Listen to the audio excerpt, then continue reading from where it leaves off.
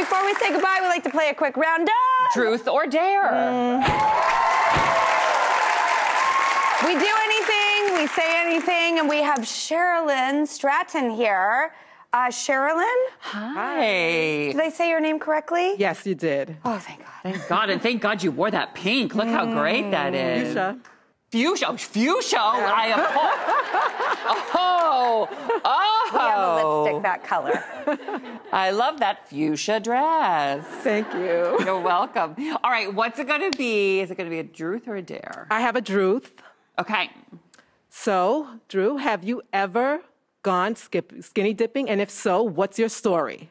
I mean, which time? uh, a hotel pool at What? the Chateau Marmont in Los Angeles for, I don't know, about 15 years.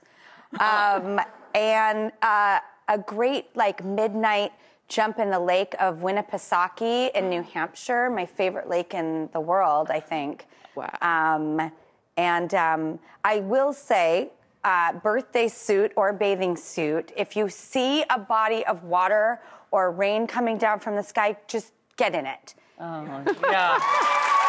You'll never regret it. You will always dry off pretty quickly, and you will be immediately transformed in a nature baptism. And I just can't recommend it enough.